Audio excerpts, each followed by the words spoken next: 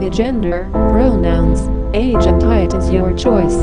Skin color is unnatural if you wear glasses and natural. if you don't. If you are a night owl make your character have an object head. For example, a TV head, teapot head, flower head, telephone head and more. If you are an early bird give them a normal head. If you are an introvert give your character a dull color scheme. If you are an extrovert give them you are an ambivert give them a pastel color scheme. If you are all, both or neither, do a mixed color scheme. If you live in Asia give your character